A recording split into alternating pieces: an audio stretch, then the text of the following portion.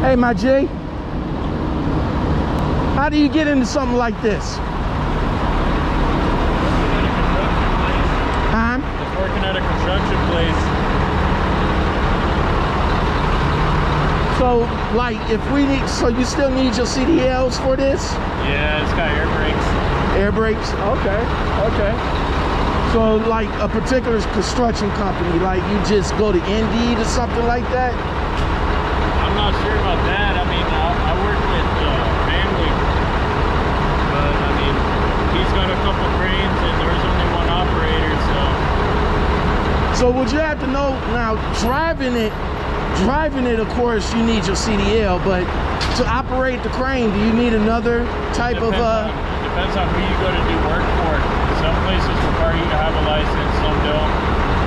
Alright. But do you still have to have a license to operate the crane?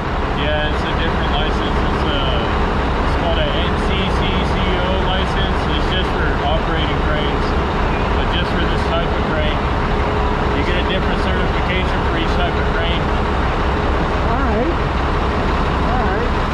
Where would you where would a person go to get that type of certification In from? Texas and Lubbock, Oh, okay. Lubbock or Houston. Okay. Alright. How long you been how long you been rocking out with the company? Eight years. Eight years? Is this year round or just certain points? Yeah, here is year round. Uh, is it because okay, okay, okay. Do you guys go out of state or no? Kansas, Kansas, Oklahoma, New Mexico. Okay. All right. Well, I appreciate your time, bro. Thank you.